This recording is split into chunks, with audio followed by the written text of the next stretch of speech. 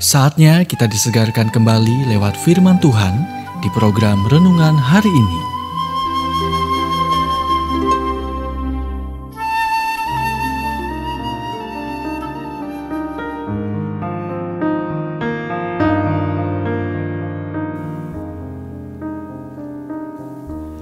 Kita melayani Tuhan yang Maha Pemurah.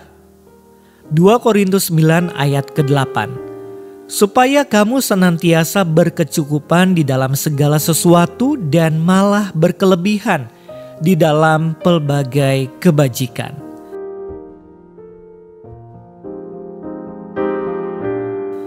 Tuhan bukan hanya kasih, Dia melimpahkan kasih kepada kita.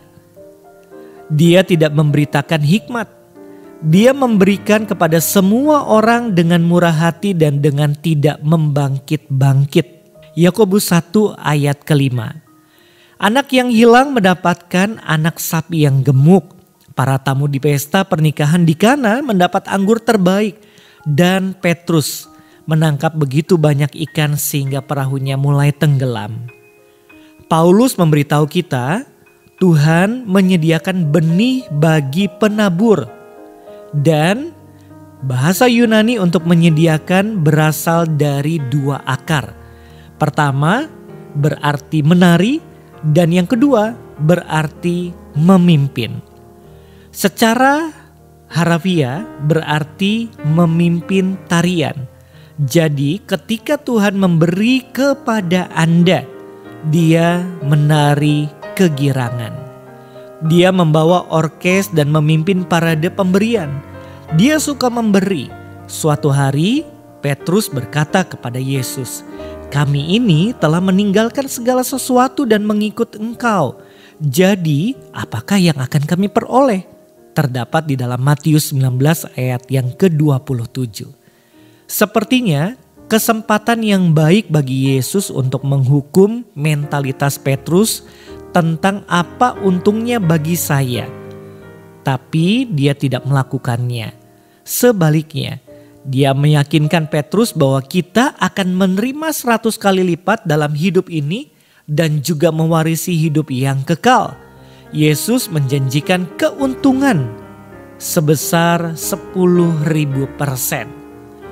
Jika seseorang memberi Anda 100 dolar hari ini, untuk setiap dolar yang Anda berikan kemarin, anda mungkin menyebut orang itu sangat bermurah hati. Tuhan menyalurkan kebaikannya bukan dengan pipet tetes mata, melainkan dengan selang pemadam kebakaran. Bukan dengan cangkir teh, melainkan dengan samudera Pasifik. Anda tidak bisa menahannya. Jadi biarkan gelembung itu berhenti.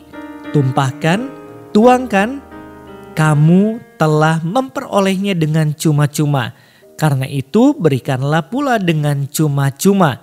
Matius 10 ayat 8.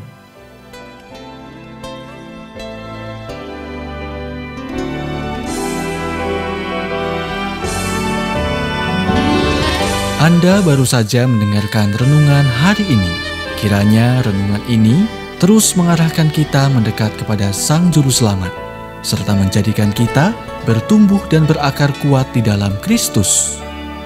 Bila Anda diberkati, berikan kesaksian Anda melalui WhatsApp di 0817 222 959. Atau jika Anda ingin memiliki buku renungan hari ini, Anda bisa dapatkan di Radio Suara Gerasi FM, Jalan Setiabudi 31 Cirebon. Dengar dan lakukan firman Tuhan, maka hidupmu akan selalu berkemenangan. Tuhan memberkati.